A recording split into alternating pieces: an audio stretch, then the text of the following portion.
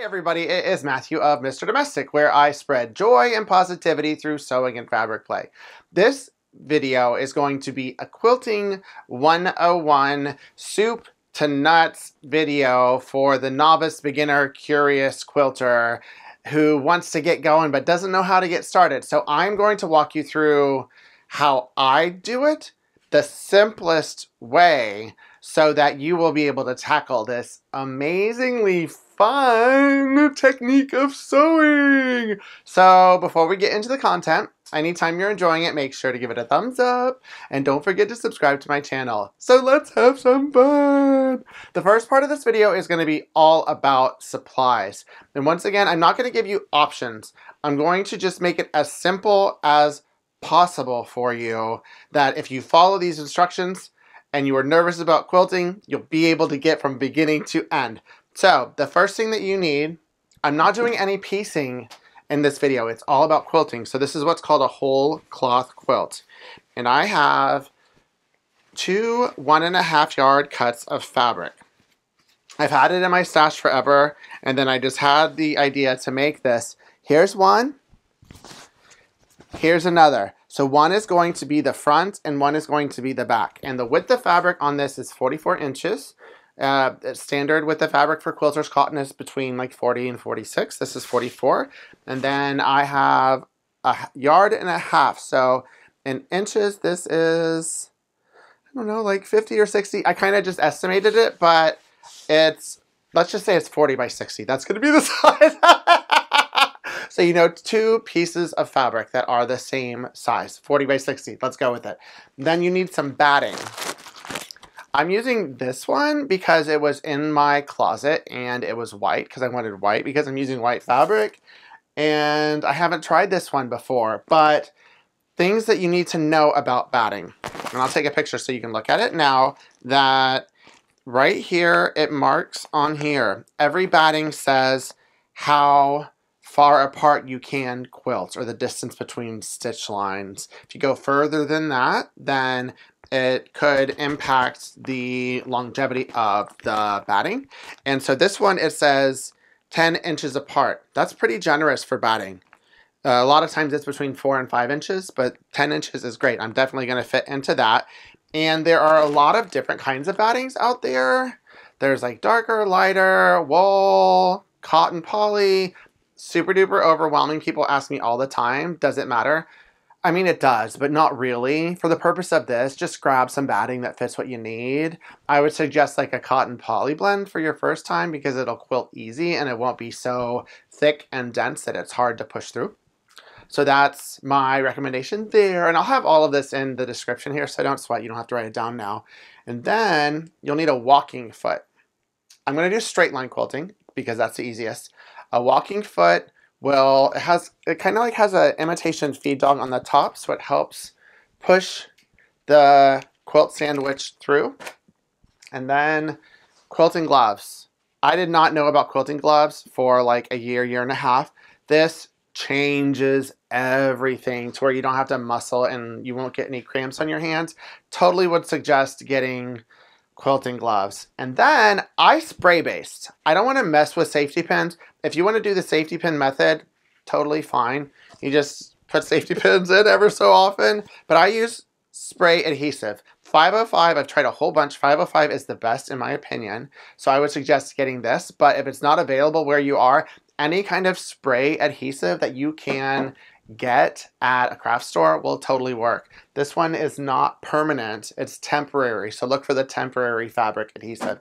Then you need some thread. You need a universal needle on your sewing machine. You definitely need a sewing machine. And that is everything that you will need to get going on a whole cloth quilting project Quilting 101 with Mr. Domestic. So I'm in my kitchen because there's enough space for me to lay this all out and I'm going to show you how I baste it and get it started. So I have the two pieces and I have my batting right here. It's a little wider than I need, so I'll trim that off after I put the fabric on it.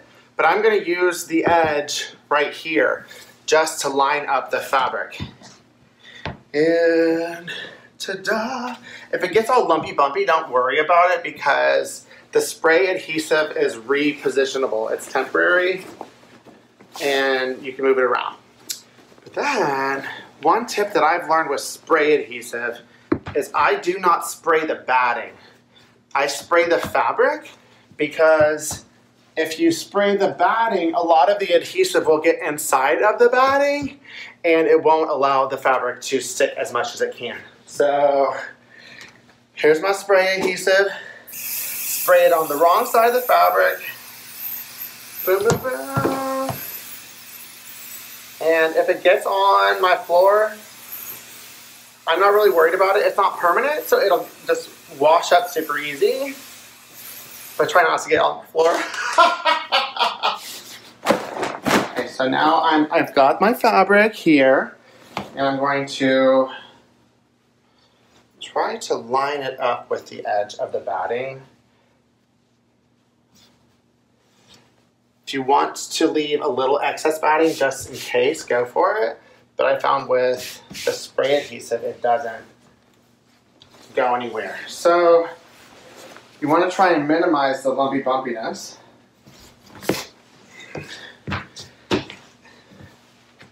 Right here and smooth it all out. Just pick it up and move it and smooth it out like this. And I'll fast forward so you don't have to like watch me smooth it out in real time.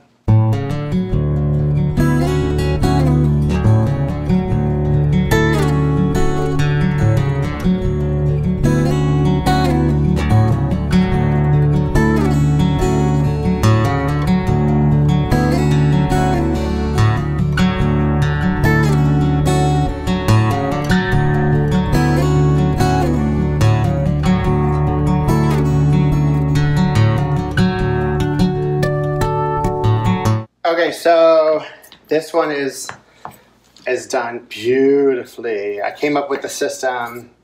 It always happens when I'm filming a video that I come up with a better way to do it, and so I'm going to show you how I did it uh, when I put on the black. But now I'm just trimming off the excess so I don't have to mess with it.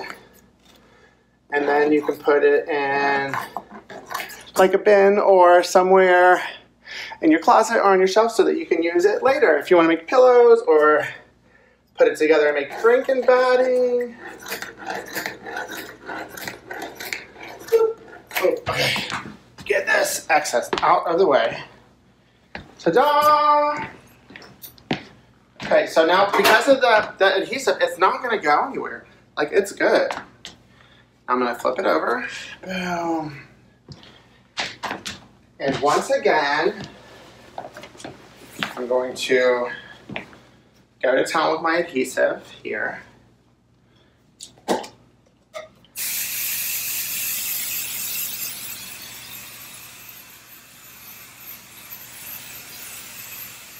And I don't really spray right on the outside, like the, um, the perimeter. I do it all in the center because that's the part that would shift if you don't use it. Ta-da! And I do want to know where the top is here so that I can line them up. Oh. And then I'm going to take the other edge and line it up on this batting. And then I'll show you the system that I came up with that, that made it a lot easier to do. Making the bed, making the bed, making the bed. Okay, so now it's just about lined up. Boom, boom, boom. This is going to be a super cute little quilt, like a snuggle quilt. Okay, so it's even, right? On this edge, let me just get this out. And to get all the lumpy bumpies, you probably saw it when I was doing the, the fast forward. Oh, this one actually came out really good. but I'm gonna show you what I did. Let's say that there were lumpy bumpies in it. Then I'm going to lift this up, like toward the middle, right? And then flatten this out, make sure that it's flat. And then, see I grab it like this, and I just gradually See? Gradually do this. And then have time to flatten it out. And this will get out all of the lumpy bumpies. Like this. Ta-da! I came up with something right now, folks. Ding, ding, ding. And then I do need to do the other side. A little bit. Ugh. do it again. I'm gonna keep this in real time just so that y'all can see it. And then slowly lower the fabric onto it. Boom. And now it is perfect. So, okay.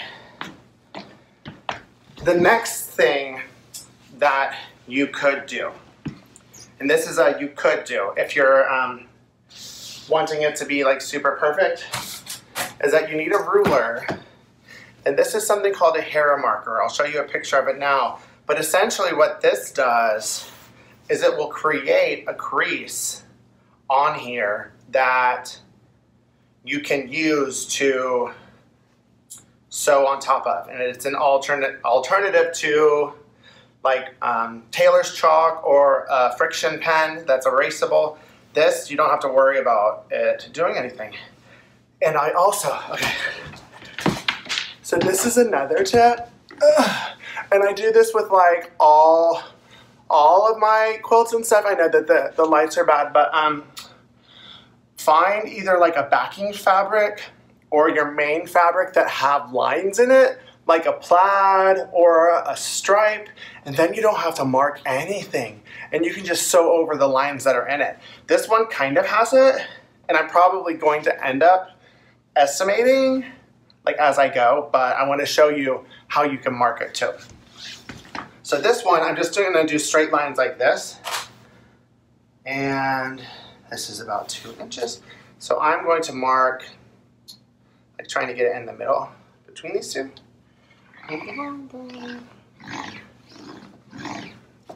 Ooh, can you see it? I hope you can see it with the camera.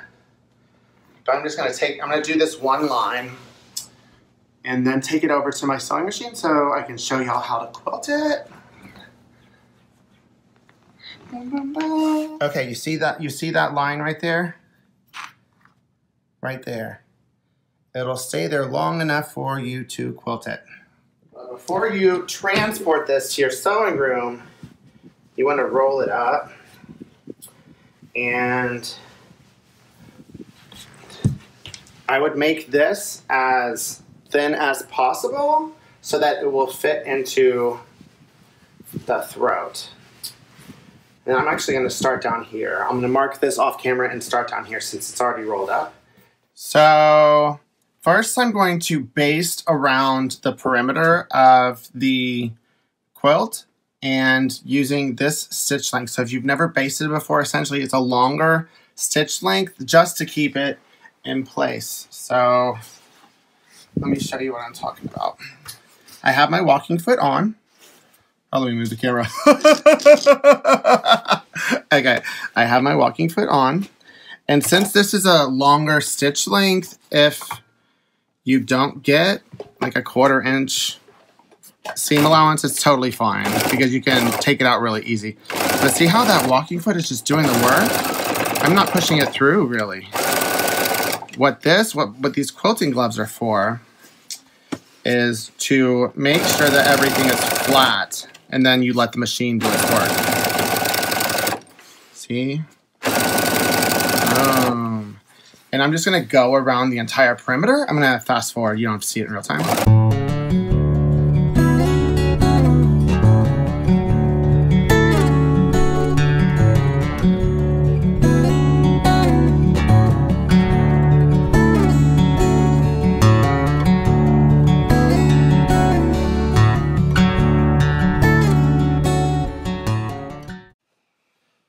Now I have changed the stitch because I'm going to quilt. And I like to quilt at three millimeter. I just think that's a nice aesthetic length.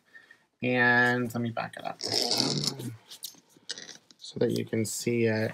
I rolled this back up and then as I go through here, I'm gonna roll it this way until I get to about the middle, and then I'll flip it around and do the other side, just so that it doesn't get too bulky on this side. But here, now I just go. And I'm doing it slower than I would normally just because I'm, I'm aware that my camera's shaking a bit, folks. and then I just quilt, oh, quilt, quilt. See? Quilt, quilt, quilt, quilt, quilt, quilt, quilt, quilt, quilt, quilt. I am quilting. It is fun. and then um, you don't have to watch that. When you see the line that I'm following right here, then once again, you can either mark or not mark. Probably after this, I'm going to estimate because I'm good with that. And I'm fast forwarding now.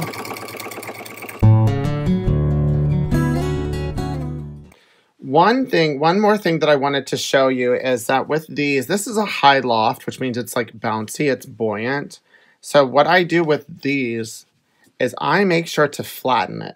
See, it's flattened as opposed to poofy. Flatten and poofy. And then I pull ever so slightly because it's going to pucker, which it'll do this.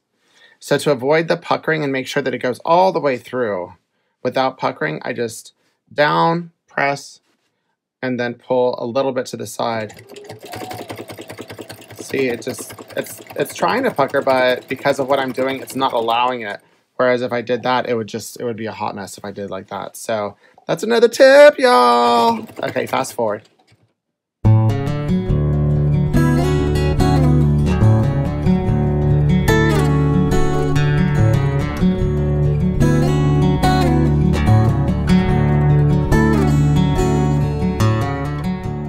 Okay, I stopped the fast forward because the camera was getting in my way, but I wanted to show you this here. See, this is me rolling it up on this side, and that is the center stitch line right there. So now I'm going to take this and then start the process on the other side so that it doesn't get bulky right there in the throat of Alfonso.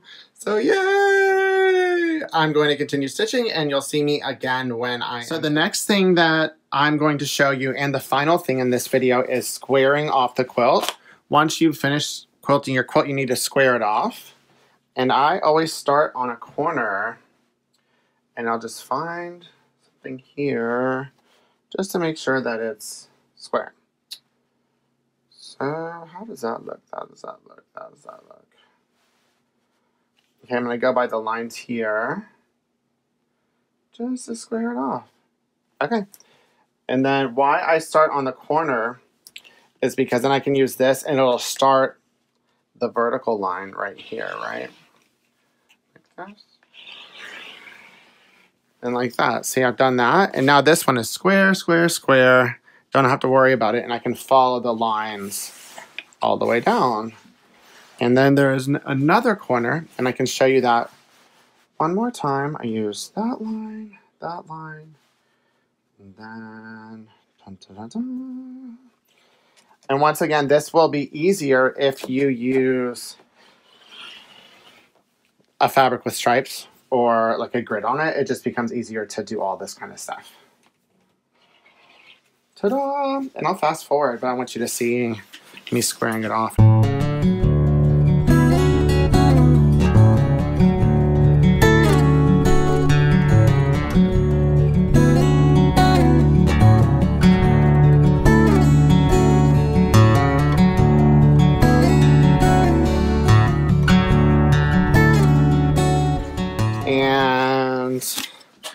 Some of y'all are like, but hey, the edges are raw. What are you going to do with the raw edges? And that you bind your quilts, and that's a whole different process that needs a video on its own, and I have one, and I'll card it right here for you.